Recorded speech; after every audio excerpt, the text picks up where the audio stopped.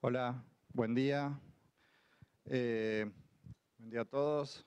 Bueno, disculpen un poco las demoras. Eh, estamos tratando de ver un tema con las presentaciones. Eh, mientras tanto, nos voy a ir presentando a nosotros. Este es el tutorial de BGP y de RPKI.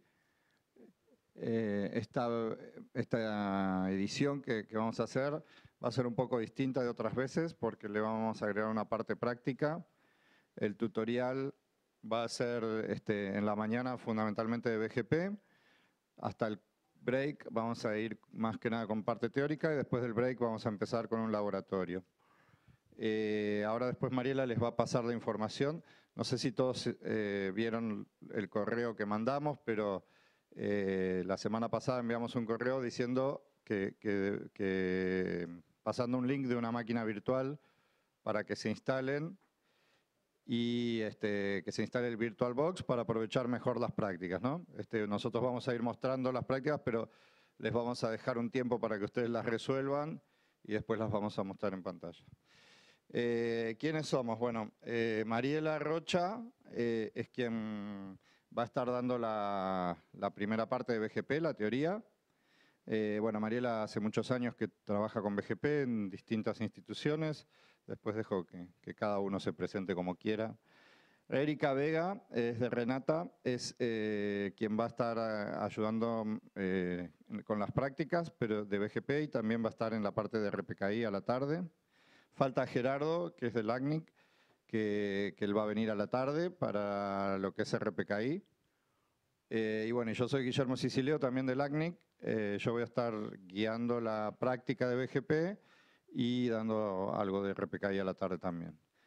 Así que, bueno, em, esa es la idea. el tutorial queremos que sea más interactivo, que sea con, práctica y que, ustedes se saquen sus dudas, así que siéntanse libres de, de preguntar. Las preguntas son bienvenidas. Lo único que, como este tutorial va por streaming y va con traducción simultánea. Lo que sí les pedimos es que si tienen una pregunta levanten la mano y esperen a que llegue alguno de los micrófonos, porque si no el resto no va a escuchar. Los que están remotos o los que están con traducción no van a poder escuchar y no van a entender la pregunta. Eh, bueno, sin más, le doy el paso a Mariela entonces. Hola, buen día. ¿Escucha bien? Sí. Bueno, eh, Vamos a empezar entonces con el tutorial de BGP. Como decía Guillermo, em, el tutorial lo vamos a dividir en una parte teórica y vamos a hacer práctica. La idea es hacer la práctica después del break, antes del almuerzo. Eh, este tutorial se está transmitiendo por webcasting, así que hay participantes remotos también que pueden participar por chat, hacer preguntas y se van a poder eh, contestar en, el momento. ¿sí? Este, mm, hay quienes están atendiendo el, chat remoto, lo que, les, que están sentados en este pasillo casi al, final, entonces, ellos están ahí, perfecto. Entonces, em, los, eh, nosotros los expositores tenemos que estar atentos a que cuando ellos levantan la mano significa que hay alguien del chat remoto que está haciendo una pregunta. Bueno, como les dijo Guillermo, enviamos un mail. Eh, en ese mail lo que les decíamos era que se instalen la máquina, eh, se instalen en realidad el VirtualBox y que bajen esa máquina virtual. Eso era para ir ganando tiempo. Si alguno de ustedes no pudo hacerlo, díganos y capaz que en todo este lapso en el cual yo voy a estar dando la teoría podemos darle una mano, Guillermo o, Erika, para poder instalarla así cuando después del break podemos empezar todos con la práctica. ¿sí? ¿Hay alguno que tenga problema para, instalar, para haber instalado la máquina virtual? Bueno, eh, ustedes hagan una cosa, a ellos... Eh, ahora, Erika y Guillermo se van a ir acercando, les van a ir preguntando. Vuelven a levantar la mano para que ellos los vean. Erika, mira, acá. Así les dan una mano ahora para hacer la instalación y cuando empezamos la práctica estamos todos listos. Bueno, me agarro. Vamos a empezar a hablar de BGP. Otra vez quiero que levanten la mano. ¿Cuántos de ustedes conocen BGP? Chicos. bueno, espero poder transmitirles algo nuevo entonces. Eh, trabajan día a día con, con BGP, eh, eh, conocen las, las, políticas de ruteo, este, cómo hacer filtros, atributos. Bueno, y los que conocen, no conocen BGP, pero sí conocen ruteo interno. Bueno, bueno, entre todos, entonces esto no voy a hacer yo la instructora, lo vamos a hacer entre todos. Yo simplemente voy a ir proponiendo los temas. Bueno, vamos a empezar.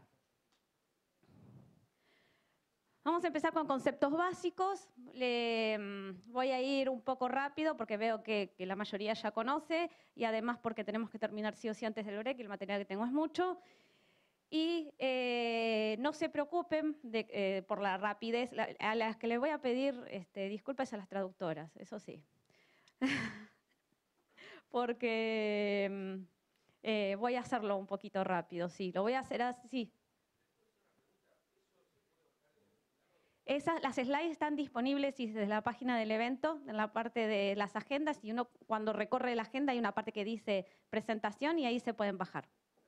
No sé si ya están disponibles, Hola. pero si no están en este momento, estarán en unas horas. Eh, Mariela. Sí. Eh, para comunicarles un poco cuando, cuando se envió el correo con, con, el enlace para descargar la máquina, de pronto para que lo vayan buscando a ver si lo encuentran dentro de sus correos. Eh, el correo fue enviado el 21 de septiembre y el asunto es información importante para participantes de tutoriales de IPv6 avanzado y BGP RPKI. Ahí hay un enlace donde ya, digamos, le van a poder dar clic, directamente se empieza a descargar la máquina virtual. Los que no encuentren el correo igual levantan la mano y yo voy pasando con el pendrive para pasarles la máquina virtual a sus equipos. Ah, sí, la red de, aquí es la del evento, es la de evento LACNIC, la de 2.4, la de 5. Y bueno, vamos, es que no. Y la contraseña es EBT con E mayúscula, E mayúscula, VT, LACNIC con L mayúscula, 2002. E mayúscula, V, T, LACNIC con L mayúscula 2002. EBT como si fuera evento, como si fueran las consonantes de evento. Bueno, comenzamos entonces. Con, vamos a empezar con conceptos básicos de los protocolos de ruteo, qué es un sistema autónomo y que en, vamos en, a hacer una diferenciación en que son tres, en que, entre qué es las tablas de protocolo y a qué llamamos tabla de ruteo. Como ustedes lo saben muy bien, porque recién pudieron responder la, eh, la pregunta, existen dos tipos de protocolos de ruteo. Los internos o IGP, eh, que entre ellos tenemos a ISIS, RIP, IGRP, OSPF, eh, y también consideramos entre esto lo que es el ruteo estático y los externos como es BGP. ¿sí?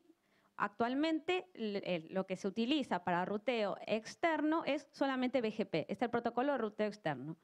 Un router maneja múltiples protocolos de ruteo, tanto como tenga configurados. En un mismo router puedo configurar protocolos de ruteo interno y protocolos de ruteo externo.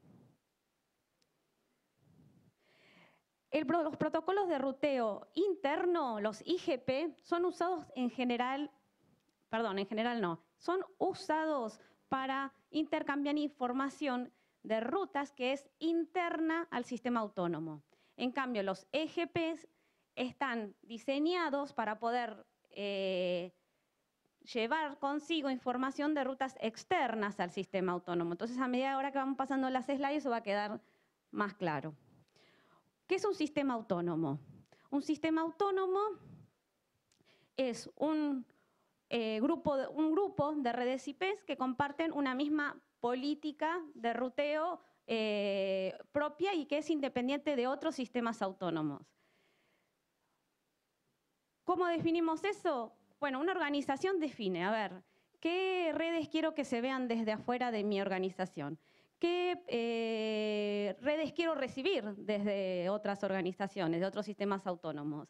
¿Qué, mm, por ejemplo, cuáles routers serán externos, cuáles routers solamente los voy a utilizar para el protocolo ruteo interno. Todo eso lo que define es mi propia política de ruteo. Mi propia política de ruteo como organización es independiente de la que defina otra organización.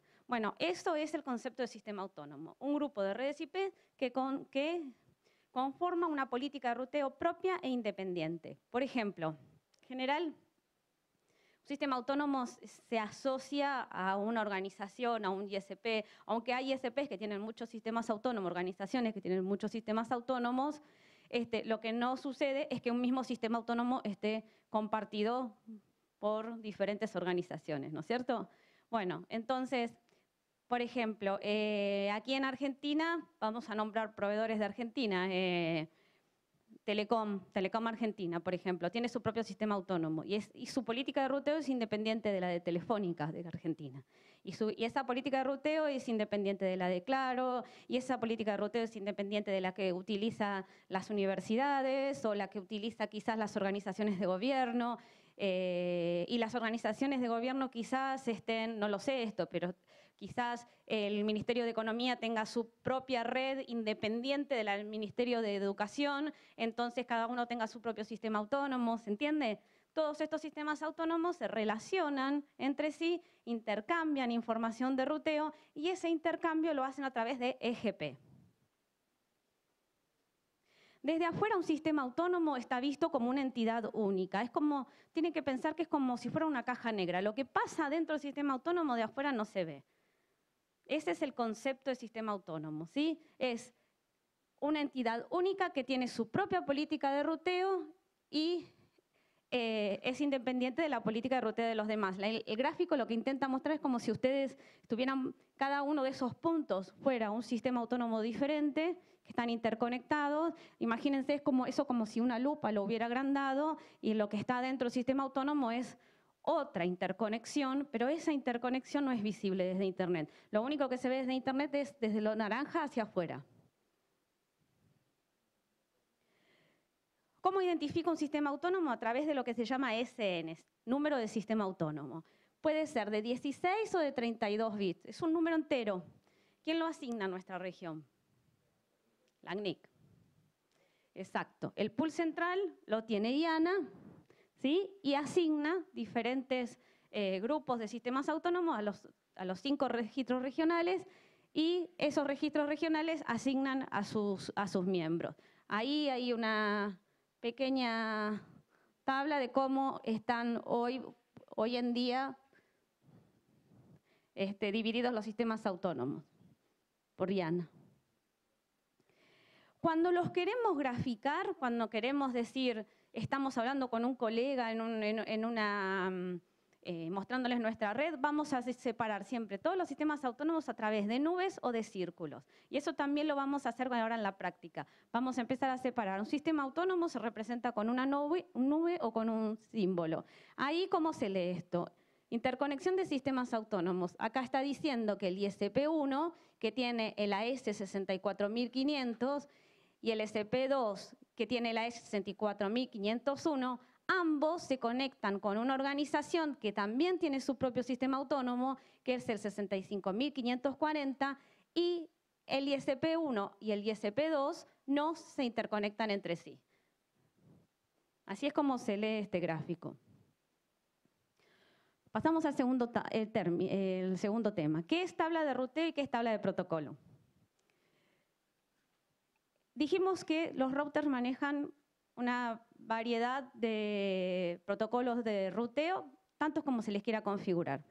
Supongamos que en nuestra organización manejamos para ruteo interno ISIS y para ruteo externo utilizamos BGP. Cada uno de los protocolos de ruteo que tengo configurados en mi, eh, en mi router va a generar una tabla de ese protocolo, una tabla de ruteo de protocolo propia.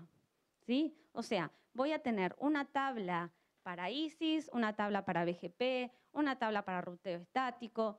Una tabla, ¿por qué? Porque en realidad la información que tengo básicamente es esta. por cada uno de los protocolos voy a tener, imagínense como si fuera una tabla de doble entrada, que no es este, exactamente, exactamente así, pero funciona como una tabla de, doble entrada donde tengo por cada uno de los destinos a través de qué salto lo voy a encontrar o a través de qué dirección IP lo voy a encontrar.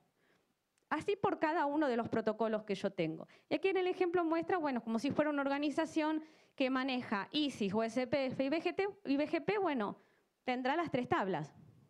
Ahora, si yo tengo tres tablas con rutas, ¿cuál es la ruta que voy a utilizar? ¿La de ISIS, la de BGP, la de ruteo estático? ¿Cuál es? Los protocolos compiten de alguna manera entre sí. Por algo se compiten a través de, una mm, este, propiedad que en Cisco se denomina, que la deben haber escuchado porque en Cisco se denomina distancia administrativa. Eh, eso está definido. La distancia administrativa de cada uno de los, simplemente es una definición de cada uno de los protocolos. Entonces los protocolos compiten entre sí. Cuando yo tengo dos tablas en las cuales hay una entrada igual en ambas tablas. O sea, que para llegar a un mismo destino me dice por dónde hacerlo, pero me lo dice a través de un protocolo y me lo dice a través de otro protocolo. Eso va a competir y el que gane es la ruta que voy a utilizar. ¿Y cómo sé qué ruta voy a utilizar? ¿Voy a ir a buscarla a la tabla de ISIS o voy a ir a buscarla a la tabla de OSPF? No. Voy a ir a buscarla a una tabla que es la resultante de todas las rutas que compitieron ¿sí? y, conformaron lo que se llama tabla de ruteo. Entonces, la ruta elegida es la que pasa a formar parte de la tabla de ruteo. Supongamos que tengo una tabla de ISIS y una tabla de BGP, ambas tienen información de cómo llegar al destino A, entonces compiten, en particular eh, mm, la tabla de BGP se llama Local Read este, compiten entre sí y la ganadora pasa a ser a la tabla de ruteo. Entonces, esto es importante. Existen varias tablas de protocolos, una por cada uno de ellos que tengo configurado en el router, pero solo una tabla de ruteo que es la resultante de las rutas ganadoras una vez que compitieron entre ellas. Así, es como, el router sabe por dónde tiene que, ¿Qué salto tiene que seguir para poder llegar a un determinado destino? Hagamos resumen de lo que vimos hasta ahora. ¿Qué vimos? Vimos definición de sistema autónomo, vimos que el sistema autónomo es una entidad que lo que pase adentro del sistema autónomo de afuera no me entero, es propia e independiente, una caja negra. Vimos también que de esta forma es como se representan los diferentes sistemas autónomos, eh, gráficamente y esto me indica cuál es la relación entre ellos. Y además vimos que existen tablas de, protocolo y tabla de ruteo y que la tabla de ruteo es la resultante de la competencia entre las tablas de diferentes rutas de las tablas de protocolo. ¿Bien? ¿Alguna pregunta hasta acá? Seguimos. Empezamos con BGP, bien de lleno ahora. ¿Qué es BGP? cómo trabaja BGP y empezamos a ver un poco de configuración básica. ¿Qué es BGP entonces? Dijimos que es un EGP, porque es un protocolo de, eh, es un protocolo de ruteo externo, ¿sí? Opera intercambiando información de rutas y garantiza un camino libre de loops. Eso es importantísimo. BGP siempre va a garantizar que no se van a generar loops en las rutas. Para eso toma un montón de medidas que van a generarnos en algún problema de nuestra administración de red, nos van a generar seguramente eh, algunas cuestiones que no entendamos qué es lo que pasa, por qué no recibimos determinadas rutas y lo que va a estar pasando es que BGP va a estar cuidando que no se generen loops. Entonces siempre vamos a estar tranquilos de que loops no se van a generar. Eso lo garantiza. ¿Qué tipos de BGP hay dos tipos, el IBGP y el EBGP. El IBGP es implementado dentro del sistema autónomo y el EBGP es implementado fuera del sistema autónomo. Entonces ustedes ahora me van a decir, pero ¿cómo? ¿No era que el BGP era externo? ¿Cómo dentro del sistema autónomo? Hay que diferenciar. Una cosa es dónde se implementa, otra cosa es la información que lleva. Yo puedo tener BGP dentro del sistema autónomo y se va a llamar IBGP. Lo importante es que esas sesiones BGP van a llevar información de rutas que son externas al sistema autónomo. Eso es lo que tiene que quedar bien claro. ¿Qué tipo de información conllevan? Tienen que ser externas, por eso se utiliza... Les, eh, digo un ejemplo. A ver, yo tengo eh, pertenezco a un ISP, supongamos que tengo varios clientes. Y esos clientes me pasan sus rutas para que yo se las pueda pasar a otros clientes. ¿Esas rutas de clientes son mías? No, son de los clientes, son externas a mi sistema autónomo. Las voy a pasar dentro de mi sistema autónomo a través de un protocolo de ruteo interno o a través de IBGP. Las voy a pasar a través de IBGP porque no son rutas que me pertenezcan. Entonces, en general, los ISPs lo que hacen es eso. Todas las rutas de clientes o de otros peers o de otros eh, ISPs lo pasan dentro del sistema autónomo a través de IBGP. Y lo que pasa a través de un IGP o protocolo de ruteo interno es las rutas de infraestructura, mis propias, las rutas, por ejemplo, que conectan las diferentes sucursales, eh, las diferentes LAN que tengo configuradas, o sea, las rutas propias. ¿Cómo es que trabaja BGP? Bueno, esto es eh, informativo, usa TCP como protocolo de transporte. En realidad lo que hace es utilizar el puerto 179 de, eh, de TCP para establecer la sesión. Siempre se establece entre un par de routers, esos routers les vamos a llamar neighbors o peers, ¿sí? Neighbors, vecinos, peers. Establecen una sesión TCP abierta mediante la cual intercambian esta información de ruteo BGP. Ahí en el gráfico ustedes ven dos routers, un enlace entre ellos, una sesión BGP que se levanta. Los peers BGP no necesitan estar directamente conectados, eso también es muy importante. Siempre se cree que tiene que ser un router adyacente, no. Los routers pueden estar en cualquier lugar de Internet o de la organización. La sesión BGP se establece, digamos, por una, capa superior, ¿sí? Entonces, se establece la sesión y empiezan a cruzar las rutas. No importa si hay routers en el medio, lo ve como si fuera un router que tiene directamente conectado. Sí.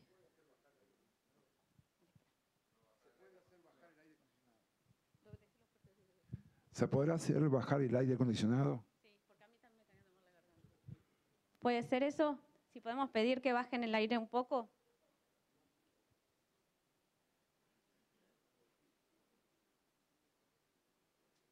Bueno. Eh, pero sí, un poco la diferencia, a mí también me está doliendo mucho la garganta. ¿Cómo es, eh, ¿Cómo es que trabaja BGP? BGP trabaja aprendiendo y anunciando rutas. ¿Qué quiere decir con esto? Eh, siempre suelo hacerlo con otro ejemplo, vamos a ver cómo... Tenemos un sistema autónomo, cinco routers de este lado, y tenemos otro sistema autónomo con cuatro routers de este lado. Hay dos routers a los que llamamos routers de borde. Que ¿Por qué? Porque son routers que se comunican con, sistemas con otros sistemas autónomos.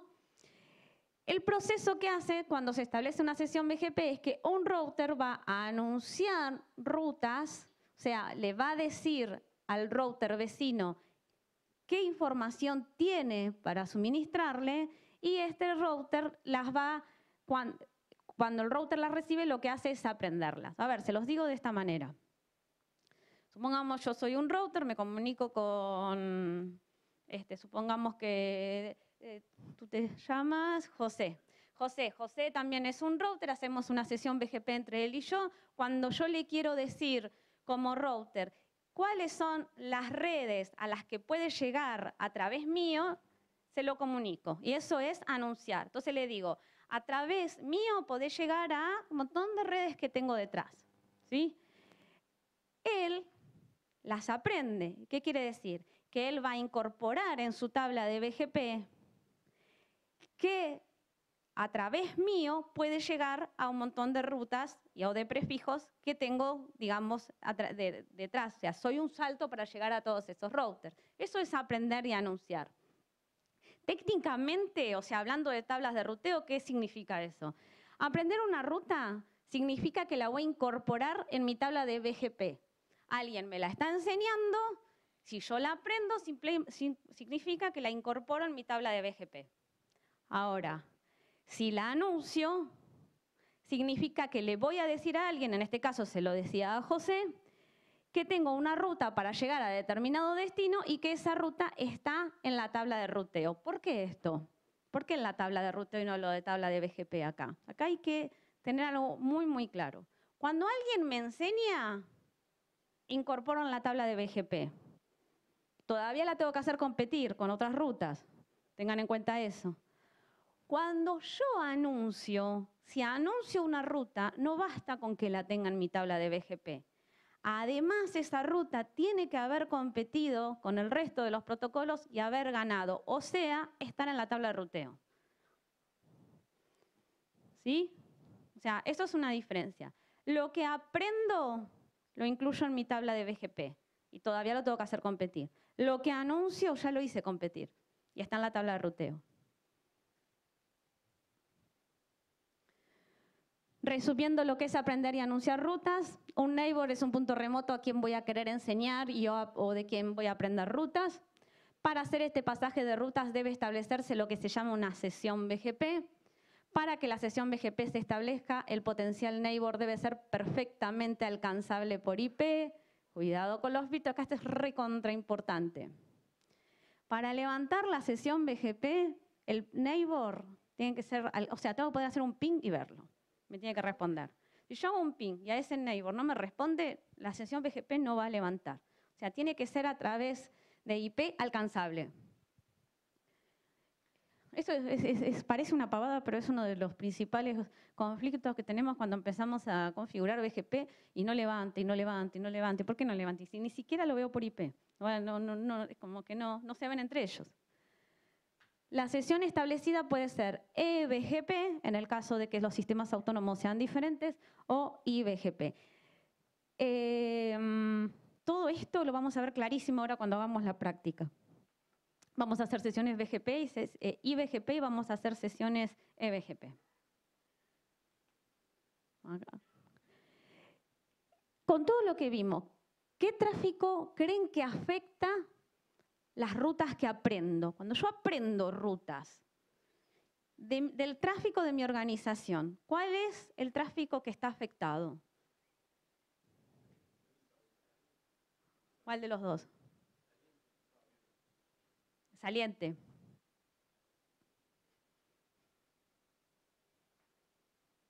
Exacto.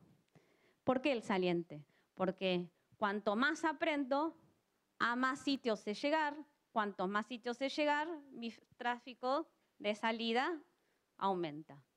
¿Sí? Ahora, ¿qué pasa cuando... ¿Qué tráfico es el que afecta las rutas que enseño? Obviamente el entrante, la recíproca, ¿no? O sea, ¿qué pasa si no enseño nada? No llega nada. O sea, nadie sabe llegar hacia mí. No enseño nada, nadie sabe, entonces tengo tráfico nulo. ¿Sí? A no ser que, bueno, esté con una ruta default del otro lado, entonces todo el tráfico me llega igual porque hay una ruta default, pero hablando en términos de BGP, ¿no? Y acá está, ¿qué pasa si no aprendo nada de alguien? Si nadie me enseña nada, está bien, yo estoy enseñando, pero a mí nadie me enseña nada, ¿qué pasa? Si nadie me enseña nada, ¿no voy a saber llegar? No, entonces ¿qué voy a tener que tener? Una ruta default para poder salir. Entonces, eso va a depender de lo que tenga configurado localmente en mi tabla de ruteo y ahí está el tema de la, tabla, de la ruta default. ¿Cómo es la configuración básica? El primer paso siempre es crear el proceso de BGP dentro del router. Siempre va a haber un solo proceso BGP por cada uno de los routers. ¿sí? Se configura de esta manera. Estos eh, vayan teniéndolo. Eh, Guillermo, vos vas a ir mostrando después las slides con la configuración básica, sí. Eh, para la práctica, entonces, primero hay que crear el proceso, se pone el router BGP y el número de sistema autónomo, se define contra qué peer se estableceremos la sesión BGP, entonces se pone de esta manera neighbor, la IP del neighbor, remote AS y la IP eh, de la S, eh, perdón, el AS remoto.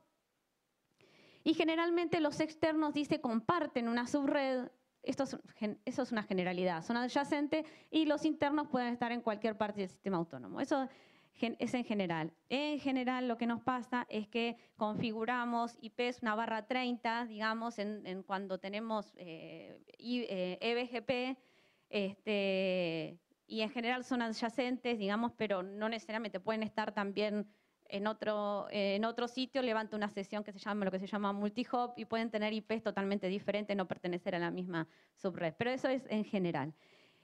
Eh, notar dice que en un IGP, IGP me refiero a OSPF, este, ISIS, cualquiera de los protocolos router interno, los vecinos son descubiertos automáticamente y en BGP se configuran en forma explícita. Eso es una gran diferencia. Cuando trabajamos con ruteo interno, en general hay como un descubrimiento de adyacencias. Y yo configuro en el propio router y se hace un descubrimiento de adyacencias y se establecen los lazos. Bueno, en BGP, para que una sesión se levante, tiene que estar explícitamente configurado de un lado y del otro de la sesión BGP, si no, no se establece. No hay un descubrimiento. Dentro de la configuración básica después es definir las redes que serán anunciadas a través de BGP. Eso se hace dentro del proceso a través del comando network. Se establece la red y la máscara. ¿Qué estoy haciendo técnicamente con esto? Estoy dando de alta una red en la tabla de BGP. Y la marca, cuando la vea, cuando haga un show de eso, después lo vamos a hacer, la vamos a ver que esa red que yo ingresé con el comando network la voy a ver como local al sistema autónomo. Bueno, y la máscara obviamente permite especificar supernet, y no subnetting. Esto es un ejemplo de configuración básica. Fíjense, dos sesiones BGP. Fíjense que esto está configurado en el AS64496. Estas dos sesiones BGP con estos dos neighbors están con sistemas autónomos remotos diferentes al de este router significa que son dos sesiones EBGP y les estoy enseñando esta red, la 203.0.113.0/24. Bueno, este, lo que les decía hoy, que hay que tener en cuenta que las rutas a anunciar deben existir en la tabla de ruteo del router local o no serán enviadas las actualizaciones, las rutas aprendidas serán propagadas por defecto. Eso no se los dije, pero es importante y eso lo vamos a ver en la práctica. Todo lo que yo recibo, todo lo que me, me enseñan y aprendo, automáticamente lo voy a propagar. Entonces ahí es una de las cosas que vamos a tener cuidado, lo vamos a ver en la práctica. También tener en cuenta que para establecer más sesiones BGP simplemente se agregan más comandos neighbor. Por cada una de las sesiones BGP tengo un comando neighbor diferente. Este comando sirve para identificar a un vecino con el cual el router local establece la sesión y el argumento ASN determina si el router vecino es un EBGP o un IBGP. Bueno, y ahí ustedes siguen viendo en el, en el, ejemplo lo que vamos a establecer después en la práctica. Uno de los comandos que más utilizamos y que es muy útil a la hora de trabajar es el comando show IPVGP. Hay muchos comandos show que son muy, muy útiles. Pero el show IPVGP no, en la práctica nos va a servir un montón porque ahí vamos a poder ir viendo todo. Em, una de las primeras líneas y las más interesantes cuando hacemos, en el, estamos, pongamos que configuramos la sesión BGP, y en modo de configuración global, perdón, en modo, de, modo router ponemos show IPVGP, enter. Nos va a aparecer una, una tabla de este estilo y vamos a ver que hay tres columnas, una que tiene asteriscos, otra que tiene signos mayor y una que tiene en algunas de las filas una letra I. Eso lo que me está especificando es el de esa ruta. ¿Qué es lo que me interesa acá? Que la ruta sea válida. La ruta es válida cuando tiene un asterisco. Si acá contuviera una ruta que no tiene un asterisco, significa que esa ruta por alguna razón no es válida. ¿Sí? veremos después que hay diferentes casos. Cu- ¿Algo? No, ah.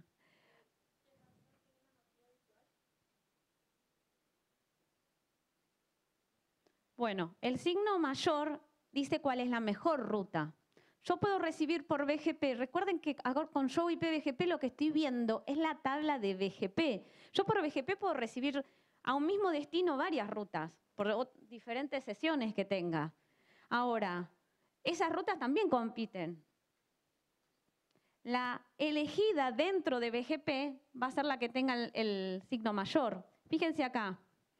Dice que para llegar a la 203.0.113, 128 barra 25 lo puedo hacer a través de esta dirección IP. Y también cuando no repite debajo ningún, o sea, perdón, cuando no hay debajo ninguna dirección IP significa que es la misma, o sea, no la repite para que no sea confuso. Acá quiere decir que, por un lado, llego a través de la 198, 51, 101. Pero por otro lado, para llegar a esta misma barra 25, lo puedo hacer a través de la 198, 51, 100, 114. Y dice que de las dos, las dos son válidas, pero la que gana es la de abajo, porque tiene el signo mayor.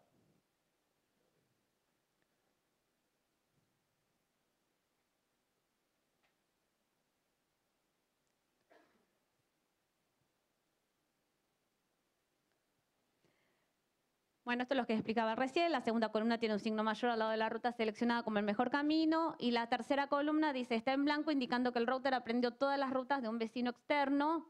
En este caso, cuando no tiene una I, estas rutas fueron aprendidas de un vecino externo. Y cuando una ruta es aprendida por un vecino I BGP, tiene una I latina acá.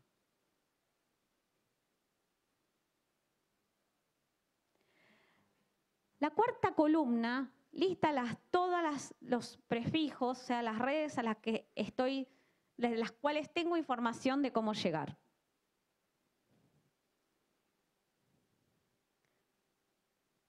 Dice, la cuarta columna lista las redes, las que no tienen una máscara de subred usan la máscara classful, o sea, eh, si es barra 8, va- si es una, clase A va a tener un barra 8, si es una clase B un barra 16, o sea, si, si no está especificado es porque está, no hay ninguno acá en este ejemplo, pero supongamos que si esta fuera un barra 24, directamente no tendría nada acá. Supongamos eso. Y sería, este, bueno, en este, sí, sería porque es clase C.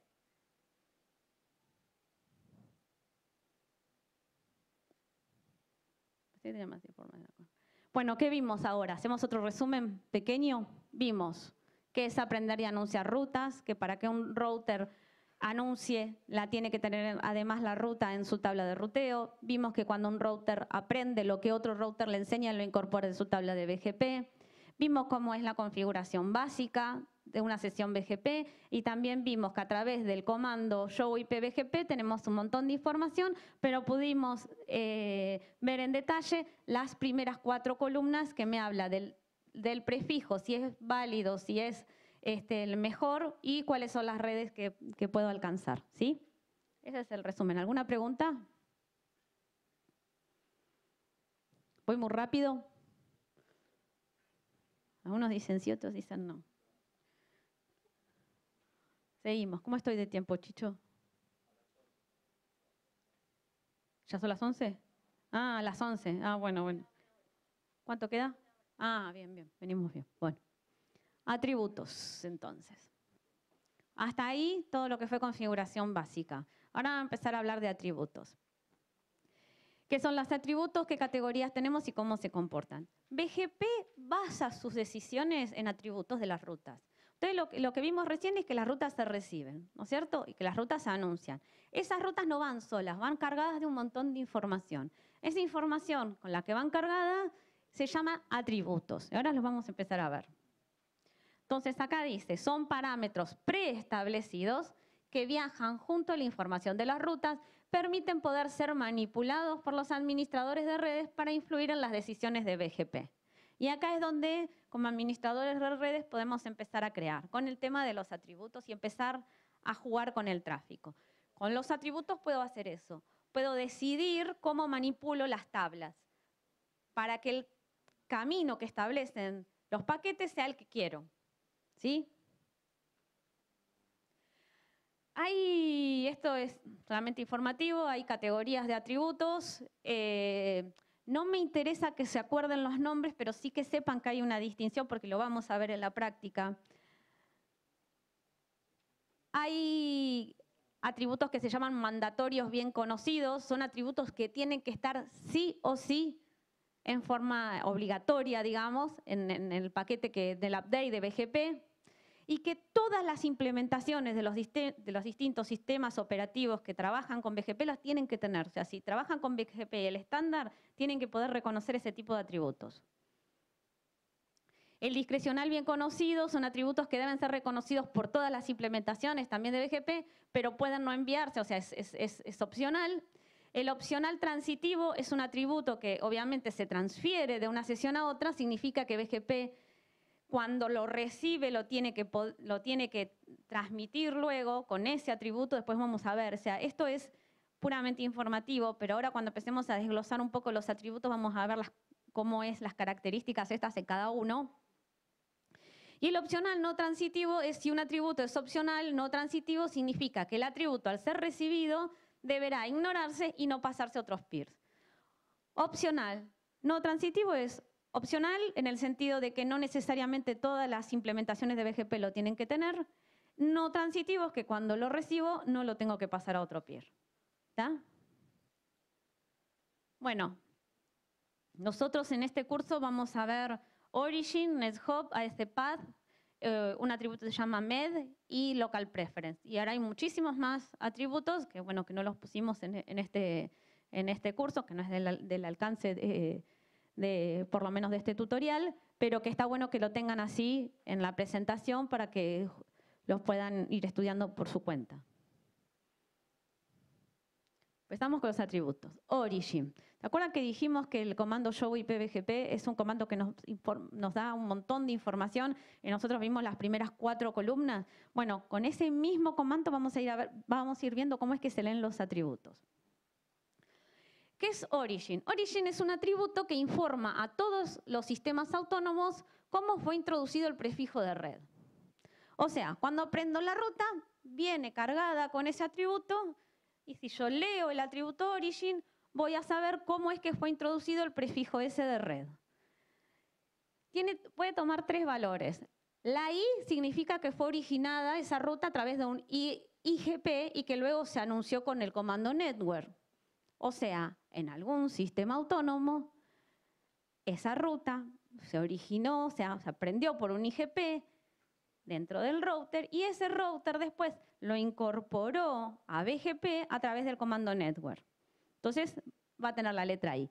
Si tiene la letra E, significa que esa ruta fue originada en un EGP, o sea, de BGP a BGP. La recibí por, por una sesión BGP de afuera, ¿sí? Y si tiene un signo de pregunta, significa que el origen es desconocido. O sea, normalmente es producto de la redistribución incompleta de otro protocolo de ruteo. ¿Alguno de ustedes utiliza redistribute? Allá, uno, dos. Bueno, eh, cuando se hace redistribute entre un protocolo y el otro, lo que suele pasar en BGP que le pone como origen desconocido, ¿sí? Cuando tiene ese signo de pregunta. Eh, ¿Cómo lo veo cuando hago show IPVGP? Lo veo en, esa, en la última columna. Fíjense que esta ahí es la que hablábamos acá, que fue originada por un IGP y luego se anunció por el comando network. Fíjense que este significa que lo aprendí por EBGP. ¿Sí?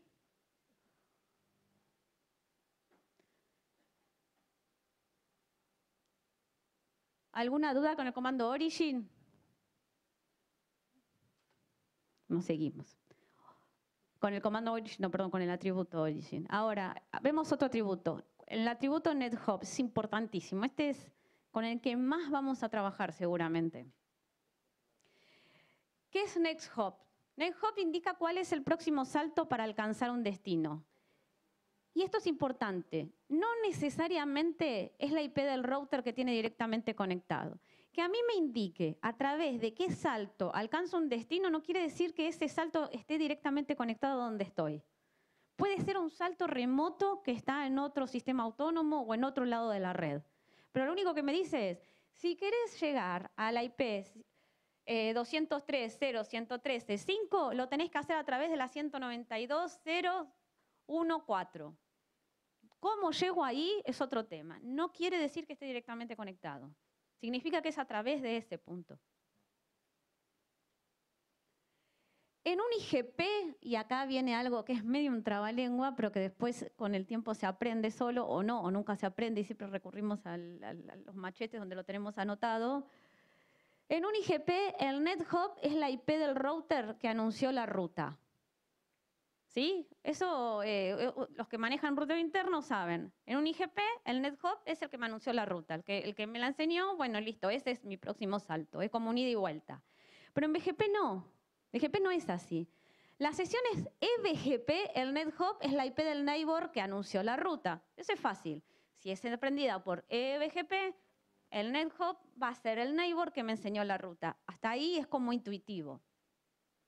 Ahora, en las sesiones IBGP tenemos dos casos.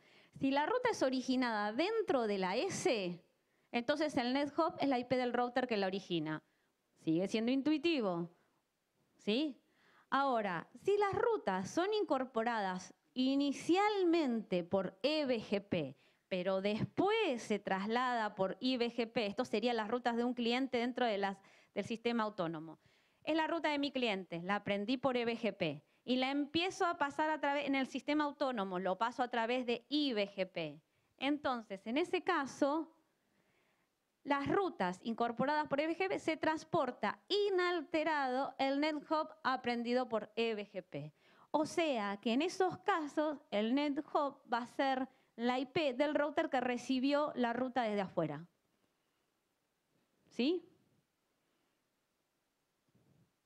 Luego, un- uy, apreté mal. ¿Dónde estaba? Acá. Luego, un NetHub cuádruple cero indica que el router local originó la ruta. Si yo veo NetHub 0000, significa que esa ruta es local al router. ¿Sí?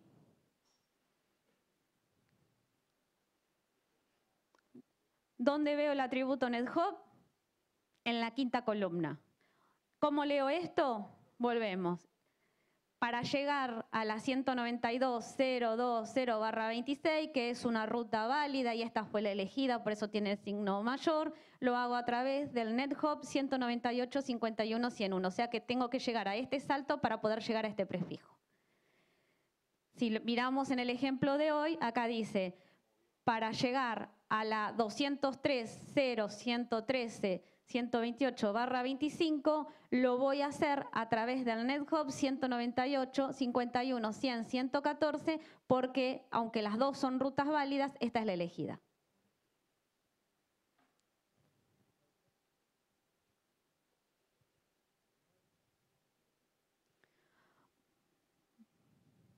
Bueno, esto es, nada más informativo en medios multiacceso, como por ejemplo en un, IXP, en un IXP, el NetHub la, la IP de la interfaz del router que originó la ruta. Eso este, los que trabajan en IXP lo, conocen mejor que nadie. Esto es un ejemplo de, fíjense, a ver, vamos a desglosarlo. Em, fíjense, acá hay una sesión eBGP. El AS64505 anuncia la red 203.0.113.0/24. ¿Sí? Se la anuncia a la S74496, este la recibe y la propaga a la S74500, que está el router B y el router C. Al mismo tiempo, también el AS64496, que contiene el router A, anuncia a este otro AS que tiene dos routers el prefijo 198.51.100/25. Lo que está bueno analizar acá es cómo lo reciben. Fíjense, ¿qué es lo que ambos routers van a tener en su tabla? Van a decir que para llegar al prefijo del AS64496, lo voy a hacer a través de Kenneth Hub, del que tengo directamente conectado. ¿Sí?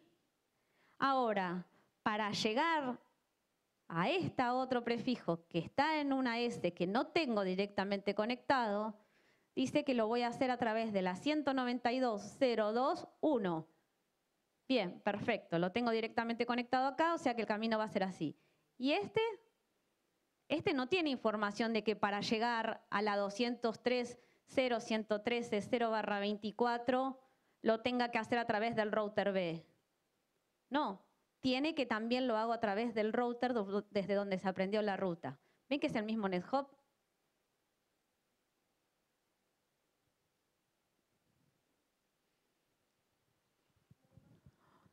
Pasamos a otro atributo. Allá, Erika. Pasamos a otro atributo. Es el eh, atributos de rutas, el ASPAD. El ASPAD es... Mariela. Sí. Yo, déjame hacer un comentario. Eh, ese caso que mostró Mariela recién, donde el NextHop eh, es el mismo y que se distribuye internamente por IBGP, vamos a tratar de verlo en la práctica y ver cuál es el problema que eso ocasiona, porque como vieron, volví una slide. Eh, en, el en el router C, el next hop es el mismo, el 192.021, pero el router C eh, no lo tiene directamente conectado y no sabe cómo llegar normalmente a ese. Entonces, eso es algo que, vamos a mostrar en la práctica, eh, qué efecto produce y cómo solucionarlo. Sí, buen punto. Eso es una de, de las cosas que vamos a analizar en la práctica. Nos vamos a encontrar con esa situación y vamos a ver cómo la resolvemos. El ASPAD es, es un atributo que lo que muestra es la secuencia, o sea, el listado la secuencia de sistemas autónomos que se deben atravesar para llegar al sistema autónomo destino.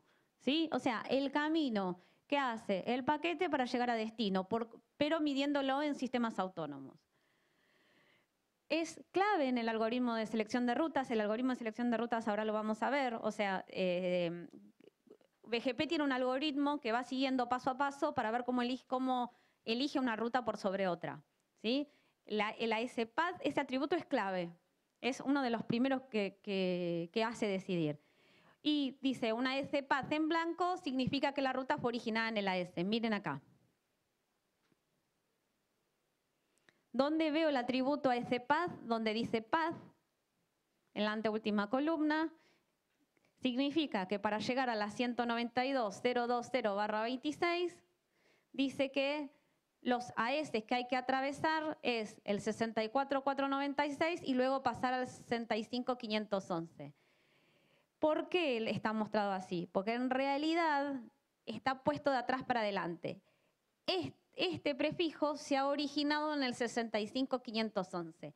Luego pasó al 64496 y evidentemente este ASN está pegado a, a mi ASN, supongo.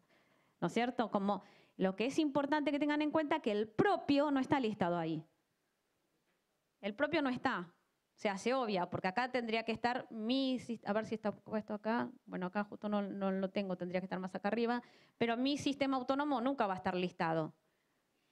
Y si no hay nada, significa que, eh, si no hay nada, está en blanco, esa cadena de sistemas autónomos, significa que ese prefijo fue originado en el AS local.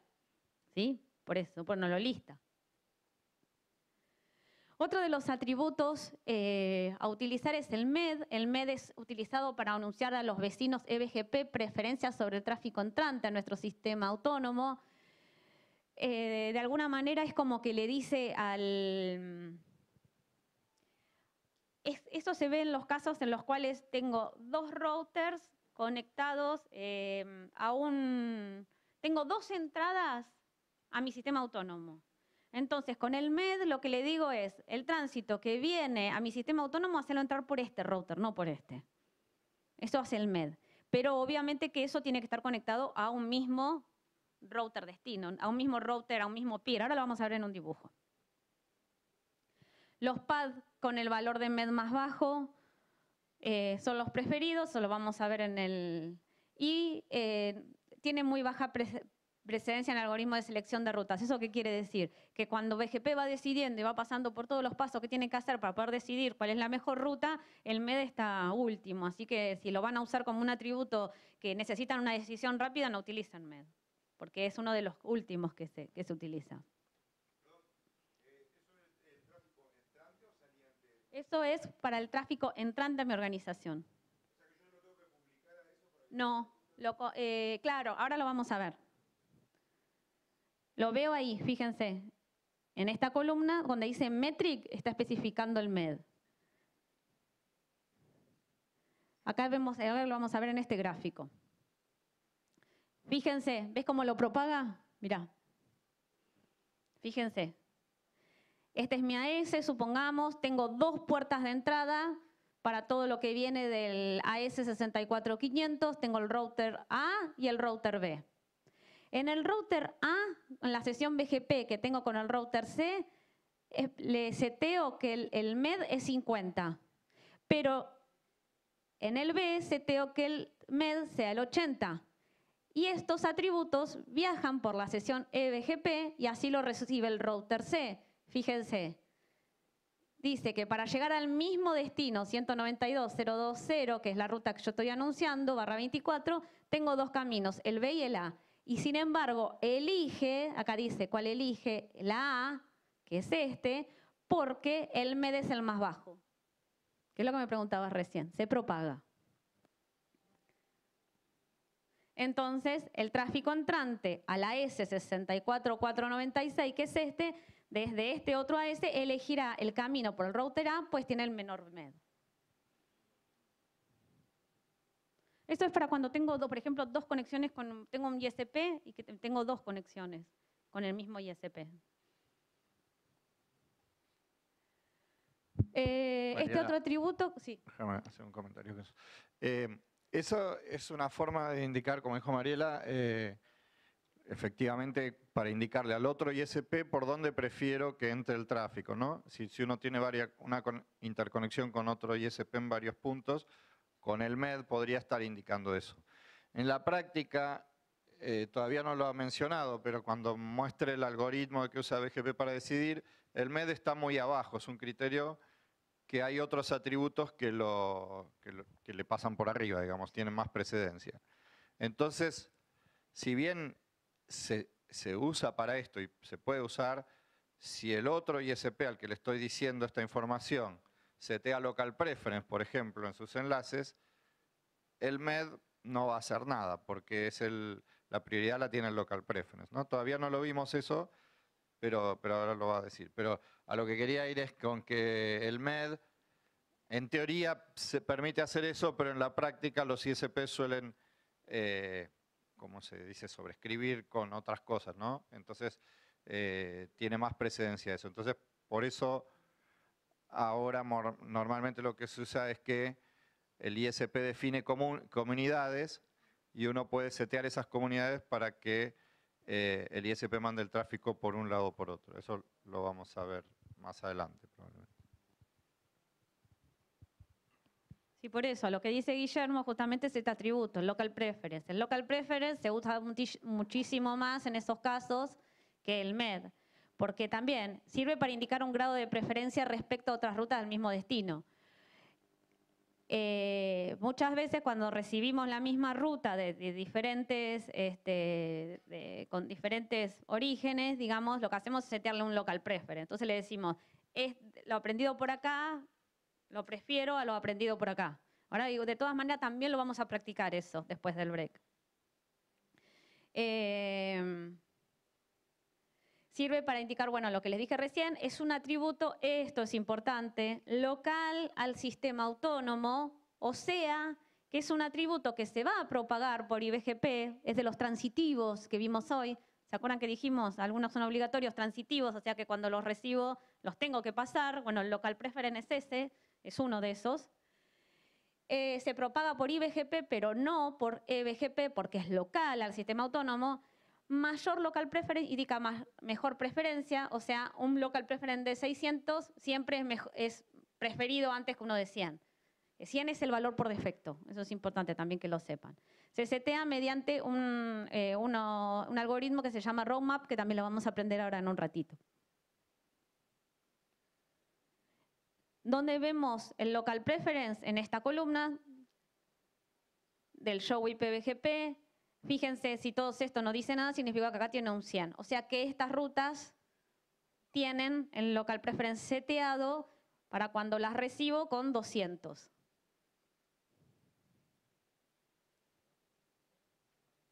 Y acá, esperen porque había una, a ver si está bien, este, porque había una lámina que tenía un error, no me acuerdo si no era esta. Ahora lo vemos. A ver, ahí está.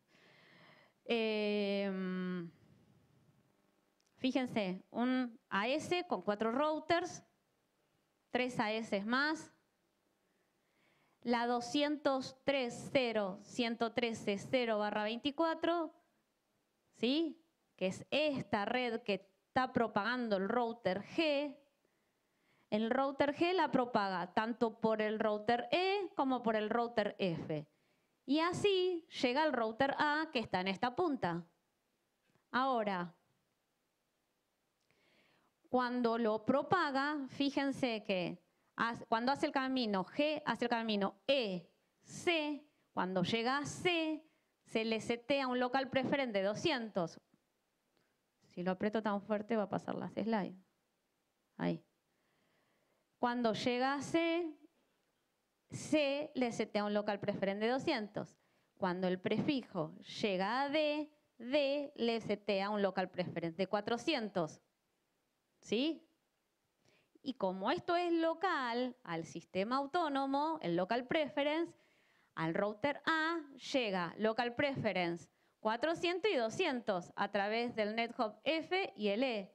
¿Cuál va a preferir?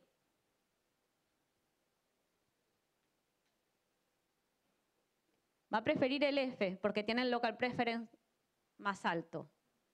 Entonces el camino que va a ser cualquier, si yo hiciera un ping, por ejemplo, la 203.0.1.113.1, ¿va a ir por acá? No.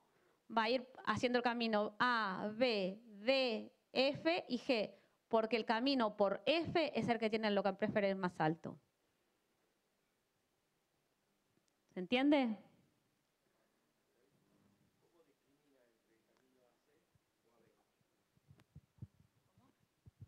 ¿Cómo discrimina el router A el camino a C o a B? Porque también podría ser A, C, D, F.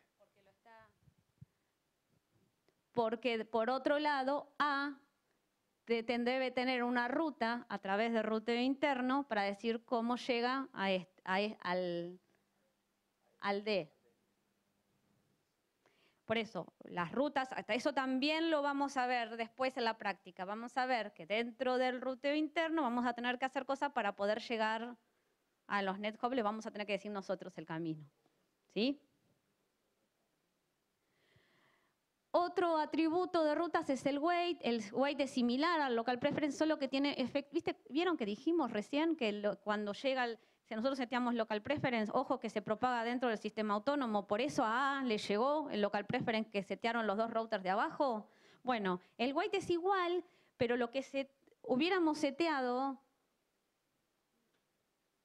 tanto en C como en D no se propaga. No, no hubiera llegado a A. Entonces, el weight es similar al local preference, solo que tiene efecto local en el router que se define. Tiene precedencia más alta que cualquier otro atributo, eso es re importante tenerlo en cuenta. Cuando seteamos el weight, tiene una precedencia muy alta en el algoritmo de decisión. Sirve para discriminar rutas entre proveedores conectados al mismo router. Se setea mediante roadmap, que también lo vamos a ver. Inicialmente fue propietario de Cisco, aunque otros fabricantes ya lo han incorporado. O sea, antes de- el Way lo sacábamos de los tutoriales porque era propietario de Cisco, pero hoy hay muchas implementaciones de otros proveedores que lo tienen implementado, entonces a veces con otro nombre, pero es el mismo atributo. Entonces, este, por eso lo, seguimos dando. Lo vemos en la tabla de Show IPVGP de esta manera. Y fíjense, acá hay otro ejemplo. Supongamos que eh, el router D recibe información sobre la 203.0.113.0 barra 25, que es un prefijo que tiene el AS que está acá en el medio, lo recibe por el AS 64510 y lo recibe por el AS 64500. Sin embargo, cuando este prefijo llega al router D, D setea que lo que recibe del peer A un weight 100 y lo que recibe del, del peer C le setea un weight 200. Entonces, si yo hago un ping desde D hasta B, fíjense que el camino que va a elegir es este. Y ahí lo vemos cómo se vería en la tabla de BGP. Dice que lo aprende con dos, tiene dos neck hop diferentes para llegar, pero el elegido es el que tiene el weight más alto. Y el elegido lo veo con el signo mayor. Bueno, ¿qué vimos hasta acá? Vimos atributos de las rutas, que son, que son parámetros preestablecidos, que viajan junto con la información de la ruta. O sea, cada vez que pasa una ruta, la ruta no pasa solita, pasa con un montón de atributos cargados. Vimos que son muchos los atributos, pero que nosotros íbamos a ver solamente este grupito de acá. A este grupito le agregamos weight.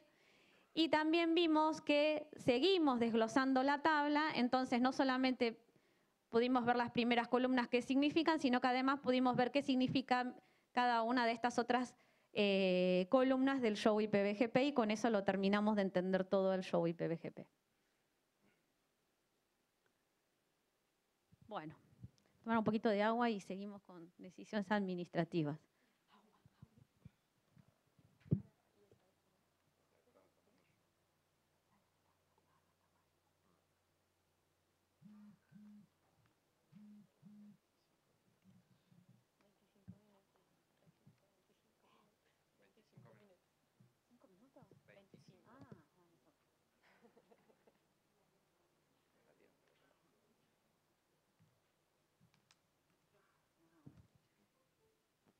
Bueno, seguimos.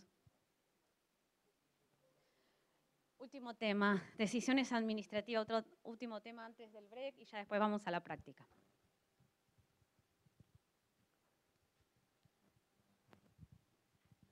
¿Qué vamos a ver acá? Hay un tema que es muy importante que tiene que ver con la redistribución del default. La ruta default que en general solemos configurar, luego la pasamos a otros peers. Entonces, em, vamos a ver de qué formas se puede redistribuir ese default. Es un punto muy importante y una, decisión administrativa a tomar importante. Después vamos a ver cómo insertamos los prefijos en BGP y cómo hacemos el filtrado de rutas. Bueno, default.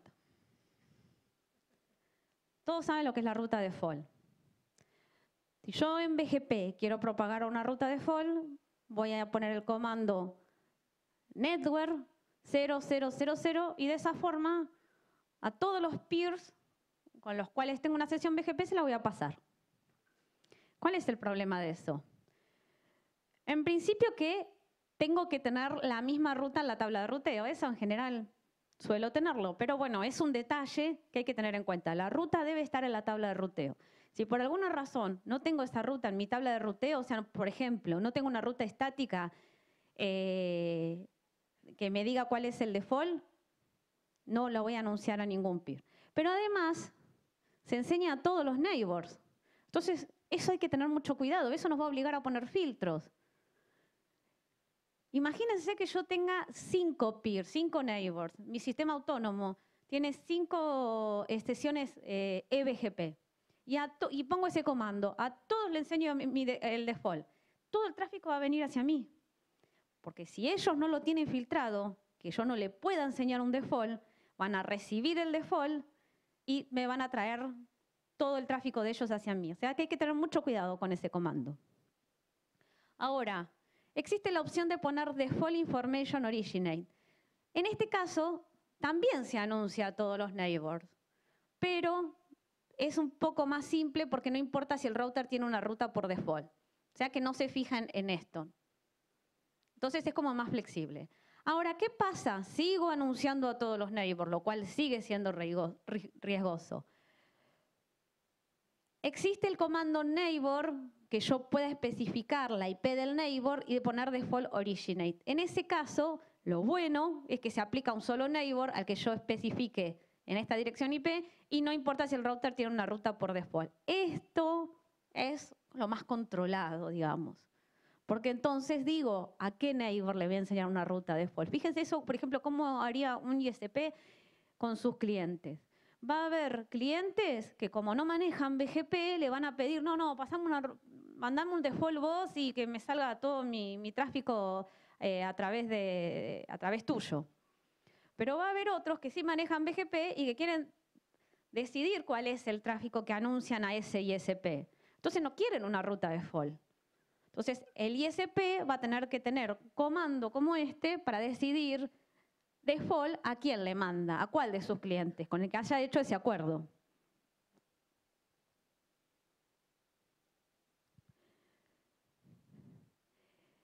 ¿Se acuerdan que habíamos visto el comando network y que dijimos que el comando network sirve para insertar una ruta, para poder anunciarla? Y habíamos dicho también que una ruta coincidente debe estar en la tabla de ruteo antes que la red sea anunciada. Habíamos dicho que eh, para que una ruta sea aprendida, simplemente alguien me la tiene que enseñar. Pero para que una ruta sea anunciada, no, no basta con tenerla en mi tabla de BGP, sino que además la tengo que tener en la tabla de ruteo. O sea que tiene que haber competido, tiene que haber ganado y entonces recién ahí la voy a poder anunciar. Bueno, ¿qué pasa si yo pongo el comando network porque la quiero enseñar determinada ruta por BGP, pero esa ruta no la tengo en la tabla de ruteo? Eso suele pasar mucho, ¿saben cuándo? Cuando Supongamos, eh, bueno, en el caso de yo trabajaba en una red de universidades y las universidades todas concentraban contra un router central y en ese router central teníamos la, em, el bloque sumarizado, que era un barra 16. Y todas las universidades tenían eh, bloques barra 22, barra 20, bloques más chicos. Pero ¿qué pasaba? Nosotros queríamos anunciar el barra 16 completo, que no lo tenía nadie. Entonces, ¿en la tabla de ruteo lo teníamos? No. Entonces, ¿qué se hace en esos casos? O sea, todos los, los, demás prefijos los teníamos porque los recibíamos de las diferentes universidades en ese router central. Si la ruta no está, se inserta una ruta de las que se llaman pull-up en la tabla de ruteo idéntica al prefijo que se quiere anunciar. En realidad se trata de una ruta estática a null y solo se usará si no hay una ruta más específica en la tabla de ruteo. Esto es un ejemplo. Supongamos que quiero anunciar la 203.0.113.128 barra 25, fíjense que si no la llego a tener en la tabla de ruteo, puedo armar una ruta estática hiperroute, una ruta idéntica, fíjense que es la barra 25, y lo pongo a null cero. Eso es una manera, digamos, eh, de forzar la inserción de una ruta en la tabla de ruteo. Entonces, en el caso que yo les hablaba recién de las de eh, cómo hacíamos en la red universitaria, lo que hacíamos es teníamos una, ruta a null cero que era la barra 16. Entonces, cualquier prefijo, el, el prefijo era el 170.210, cualquier prefijo 170.210/16 venía al router central. Una vez que venía al router central, no había ninguna ruta eh, barra 16 más específica. Entonces buscaba este, las específicas según el destino que esté buscando. Pero cualquier 170.210 iba a venir a ese router central y eso era lo importante. ¿Qué es el filtrado de rutas? Hasta ahora vimos que enseñábamos, aprendemos y sobre todo que todo lo que aprendemos lo enseñamos. Entonces, el filtrado de rutas es un proceso muy importante a fin de garantizar la estabilidad de nuestro ruteo y de los vecinos. Hay un filtro que se puede implementar a la entrada y filtros que se pueden implementar a la salida. Si el filtro es implementado a la entrada, entonces se aplica sobre las rutas aprendidas. Y si se aplica la salida, se aplican las rutas que van a ser anunciadas. ¿Se entiende eso? Un filtro aplicado a la entrada de una sesión BGP va a afectar a todas las rutas que aprendo en esta sesión BGP. Un filtro que es aplicado a la salida de una sesión BGP va a afectar a todas las rutas que yo intento anunciar. ¿sí? Si lo aplico a la entrada, las rutas no se incluyen en la tabla de ruteo. Si las filtro, no van a llegar. Ahora, si, las, están en el filtro, está la salida, las, rutas no se van a incluir en las tablas de ruteo remotas. Yo las puedo tener en mi tabla de ruteo, pero las remotas no se van a incluir. ¿Qué razones puede haber para hacer filtro? Bueno, este, acuerdos económicos, cuestiones de seguridad, eh, técnicos. Por ejemplo, los routers tienen una capacidad de procesamiento y de memoria este, definidos. Entonces, eh, a mí no me sirve recibir todas las rutas que anden por ahí, porque todo eso es una carga para el router. Y lo que voy a lograr es un efecto al final contraproducente. Hay dos tipos de filtros de rutas, los que están basados en direcciones IP y los que están basados en el PAD. Los que están basados en direcciones IP, hay dos tipos. Vean esto porque los vamos a hacer ahora en las prácticas. En la práctica vamos a hacer práctica de filtros también. Entonces, que me apure. Eh, los filtros basados en direcciones IP tenemos dos tipos, los distribute list y los prefix list. Los distribute list no los vamos a ver porque prácticamente hoy no se, no se usan tanto, no son tan flexibles como los prefix list, y en el pad se utilizan con filter list. Este es el, el, tema más complicado, pero como después Guillermo en la práctica lo va a ir explicando, y él es el que me está apurando, entonces este, ustedes dirán después si lo aprendieron o no. Si porque él me apuró o porque lo explicó bien. Bueno, eh, todos trabajaron con Access List, ¿verdad? Las conocen. Este es el formato que tiene un Access List. Bueno, ¿qué, ¿cuál era el problema que teníamos siempre con estas, con estas Access List? Que cada vez que, que teníamos que hacer una modificación en el Access List teníamos que agarrarla, copiarla todo en un procesador de texto. ¿no? cambiar, eh, sacarla de la interfaz, modificarla, volver a copiarla en el router toda, rogando que se copie bien, que no haya ningún carácter raro, que me haya quedado y volver. Bueno, eso era de lo más tedioso, ni hablar cuando las listas de accesos eran muy largas. Bueno, ¿qué ventaja tiene el prefix? Es como si fuera una lista de acceso, pero la diferencia es que cuenta con esta parte que dice sec 5, sec 10, sec, que es como un número de secuencia y que eso permite que solamente cuando la tengo que modificar saque esa secuencia. O que pueda, eh, poner, que pueda poner sentencias en el medio. Entonces pongo la 5 y si tengo que poner una, como esto se va ejecutando paso a paso, tengo que poner una en el medio de estas dos, le pongo número 7, por ejemplo. Entonces es más flexible. ¿Cómo se aplica el prefix click a la sesión BGP? de esta forma se pone neighbor, a cuál neighbor es que voy a aplicar ese filtro, prefix list y el nombre del prefix list. Y también le tengo que decir si este filtro es aplicado a la entrada o a la salida. También lo vamos a ver en la práctica. Y esto es un ejemplo y esto es lo que vamos a hacer en la práctica. Así es como se construye, por ejemplo, un prefix list. Esto justo está hecho con, con peer group. Pero, ah, no, no está hecho con peer group, perdón. Fíjense que al neighbor 200, 0, 113 siempre le aplico a la salida un prefix list que se llama peer out. ¿Y qué dice ese prefix list? Lo tengo definido acá. Dice que peer out es un prefix list que permite este prefijo. Quiere decir que lo único que le voy a enseñar a este neighbor es el prefijo 192.020-24, porque lo que no tenga especificado en el, si aplico el filtro, lo que tengo ahí es lo que va a pasar. Lo que no tenga ahí no va a pasar. ¿sí? O sea, hay como un deny que está explícito al final de las sentencias del prefix list.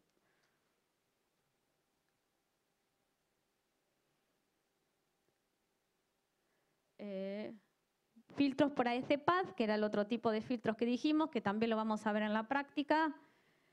También para lo que vamos a hacer en la práctica son dos pasos. Primero vamos a crear una sentencia con una expresión regular. Conocen las expresiones regulares porque todos nosotros siempre en algún momento nos toca trabajar con las expresiones regulares. Se crea de esta manera, se pone IP a pad access list. No se preocupen porque todo esto lo vamos a ir poniendo en pantalla para que puedan ir copiando los comandos, así que lo van a poder hacer tranquilos. Este, se pone, en este caso, la palabra clave es access list, se pone un número de filtro, no un nombre, y se pone si se permite o se deniega este, determinada expresión regular. Luego ese filtro se aplica al neighbor de esta manera y también se indica si se aplica a la entrada o a la salida. Esto es un ejemplo. Fíjense que acá dice que al neighbor en esta sesión BGP le aplica este filtro 10 en la entrada y el filtro 10 dice que permite todo lo que, esta expresión regular significa todo lo que se origina en el AS. ¿Por qué? Porque es una cadena, vieron que esto significa cadena en blanco. Eh, entonces, todo lo que se origina en el AS es lo único que va a permitir salir, entrar. Esto es una tabla, nada, un ejemplo de tabla de expresiones regulares para familiarizarse más con las expresiones regulares. Y que, les, que ya estamos terminando es cómo es que se, qué es un roadmap. Esto, esto es importante. Todo lo que nosotros estuvimos viendo, los atributos, em, el local preference, way, todo eso, ¿cómo, cómo se lo pongo a una ruta? ¿Cómo lo seteo en una ruta? Se setea a través de lo que se llama roadmap.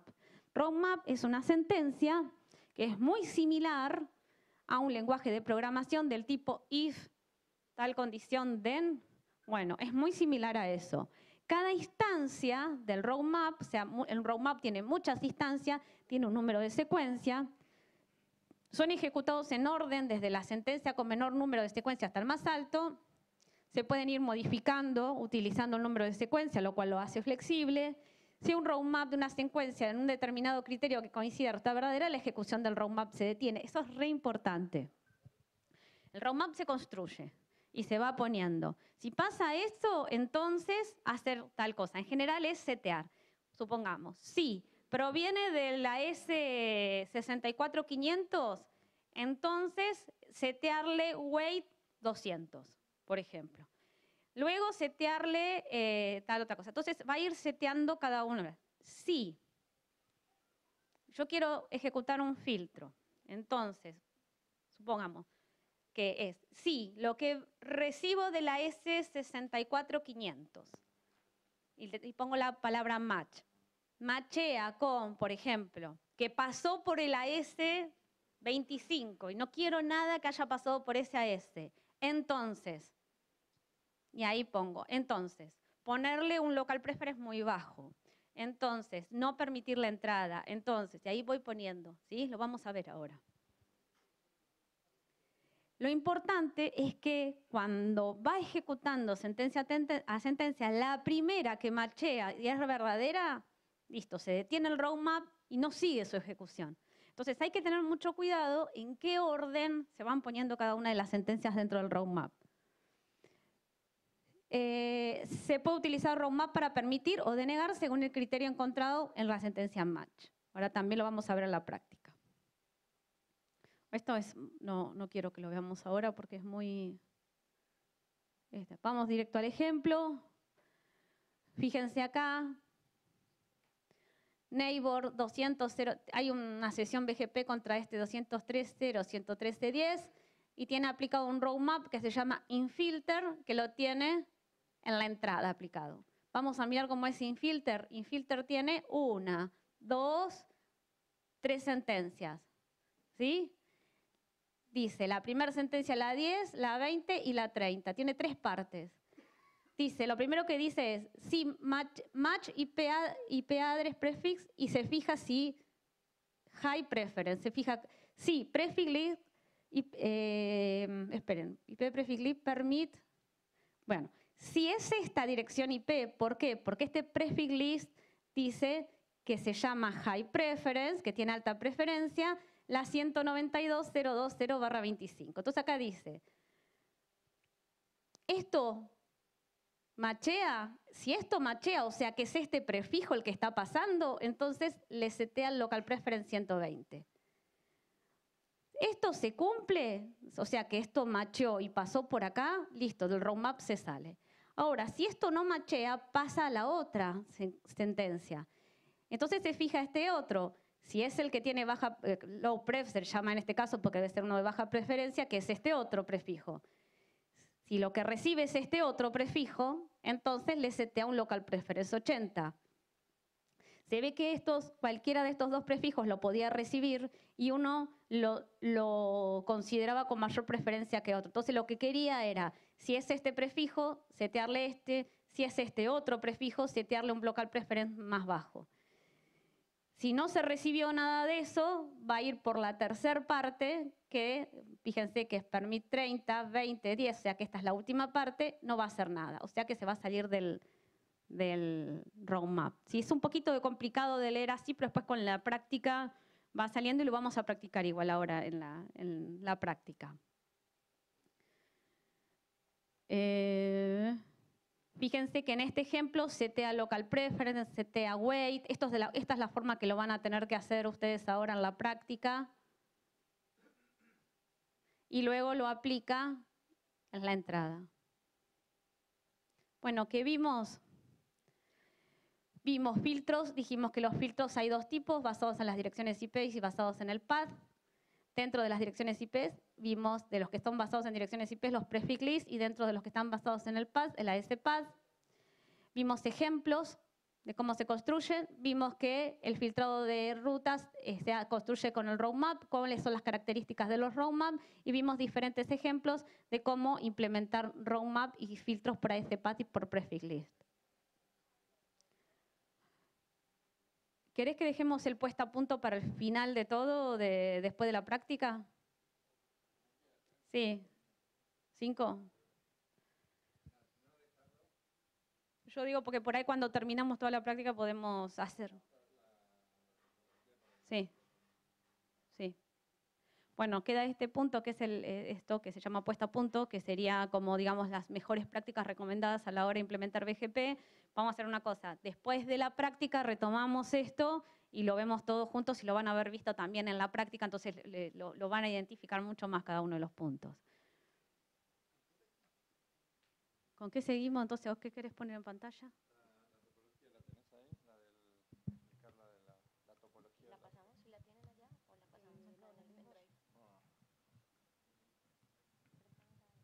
Ahora tendríamos que pasar a la, a la máquina del...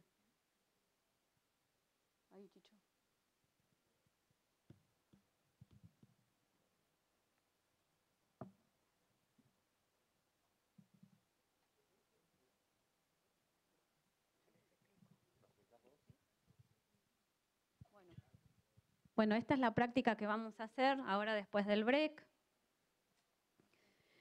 Lo que, esperen que voy a agarrar el puntero. Esa es la topología que vamos a armar. Ustedes bajaron el VirtualBox, lo instalaron y bajaron la máquina virtual con GNS3. Este, una vez que entran al GNS3, vamos a trabajar con un router que se llama CM Router, ¿no? Se llama CM Router.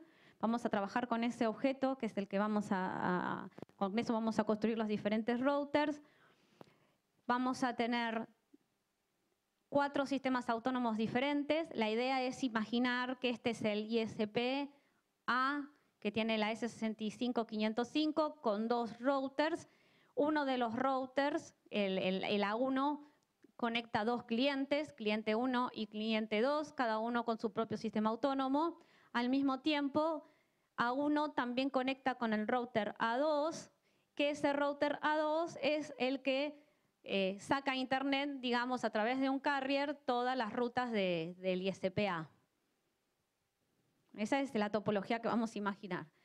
Y este, la vamos a crear, ustedes van a, la, práctica ahora cuando van a crear esto mismo, este dibujo, van a poner cada uno de, las, de estos routers, que ya le digo, se llaman CM router, lo, van a ver ahí como un objeto, van a poner las diferentes conexiones, Ethernet 0, 1, 2 con estas IPs, van a agarrar el AS65500, lo van a crear y van a configurarle estas interfaces a, A1 y esta otra, estas otras interfaces A2, así tienen que estar hechas las conexiones.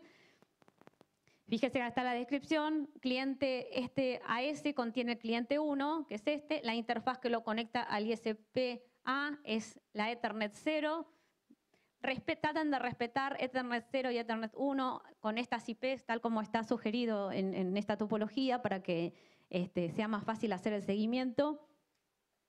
Luego el cliente 2, lo mismo, y después van a hacer una conexión entre A2 y el carrier, y la interfaz la van a conectar a través de la Ethernet 0, que va a ser la 10010-30. ¿Sí? Entonces, eh, con esa topología vamos a trabajar, vamos a ir haciendo ocho ejercicios, vamos a hacer, vamos a hacer unos ocho ejercicios, la modalidad de trabajo es, se va a poner el ejercicio en, pantalla, o sea, vamos a darles un tiempo para que generen esta topología, una vez que la tienen toda generada eh, eh, con, los, con los cinco routers y todos configurados, vamos a sacar la topología de pantalla y vamos a poner el primer ejercicio. Eh, les vamos a dar un tiempo para que lo vayan haciendo. Erika y yo vamos a estar ayudándolos a través de los, de los bancos y este, después, eh, pasado unos 5 o 6 minutos, Guillermo lo va a empezar a hacer para que ustedes vean cómo se resolvía y así vamos a ir haciendo cada uno de los ejercicios, de los ocho ejercicios, y vamos a practicar configuración básica, vamos a practicar atributos y vamos a practicar filtros. Eso es todo. ¿Está bien? ¿Algo que agregar? Em, no, nada más eh, que si quieren, lo que pueden ir haciendo es abrir la máquina virtual con VirtualBox y configurar esos, esas IPs eh, que están ahí. Y los sistemas autónomos, eh, por ahora no, digamos, este, eso lo vamos a ir configurando en la práctica. ¿no? O sea, si quieren avanzar con algo es configurar las Ethernet de... Eso es de- lo que si tienen que no hacer. O sea, lo que si no tienen lo que vemos, hacer de pero- entrada es armar, pegar los cinco routers y armar las conexiones. Nada más que eso, las conexiones. Les tiene que quedar todo eso conectado con esas IPs. Eso sí, no, nada de BGP, solamente a nivel de IP. ¿Sí? Eso, ahora ni bien venimos del, sea, si alguien quiere ir adelantando ahora, pero bueno, está el break hasta ahora. Pero este, ni bien venimos del, del break, se va a dar unos minutos para que pongan los cinco routers con, los, con, con las conexiones y, los, eh, y le hagan a modo de dibujo, solo de dibujo, pongan la nube y le pongan el sistema autónomo al cual pertenece. Eso no lo van a configurar todavía. Van a poner una nube, la van a pegar y le van a poner a ese 64498, pero no va a estar configurado. Esto va a ser modo texto nada más. Lo que sí va a estar configurado son las conexiones. ¿Se entiende? O sea, porque no van a configurar el AS ahora porque no vamos a alargar todavía el proceso del router BGP. Simplemente la etiqueta de la nube va a decir AS 64498. ¿Sí? Bueno, eso es todo. Esto es la teoría de BGP hasta ahora. Y bueno, si les parece, hacemos el corte y vamos al break. Gracias.